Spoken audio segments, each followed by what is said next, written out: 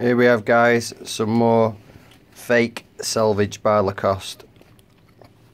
The chinos, not jeans. So they've obviously put the, the type band on for when you cuff the jeans, just to give it that look of selvage, but obviously there is none. It's chinos and they've not, it's not a proper selvage. So what's your thoughts on when uh, manufacturers do fake selvage?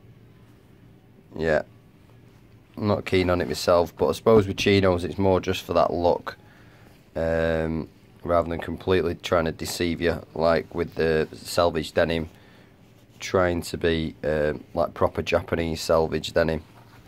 I think with chinos it's more just for the aesthetic look. But let me know what's your thoughts on fake selvage chinos. These ones are by Lacoste, which I'm surprised to see. It's normally them obscure makes that I've not heard of before that do these um, these type of things. So yeah, let me know in the comments and discuss. Thanks for watching. Take care.